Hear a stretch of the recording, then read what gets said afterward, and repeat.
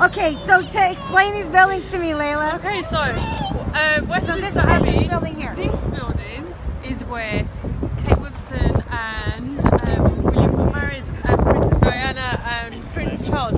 Not that one. So this you. building is what? This is just Dean's Yard, whoever Dean is. What? What's a dean? That's a really good Dean? question. I think it's something to do with the church. Deans in church. Oh, deans in church. It Oh. must have been where the deans hang out. Oh, Dean's No, Yard. no, oh, Dean's Yard. Westminster Abbey. We're just putting it together. Like this is London history from a Londoner.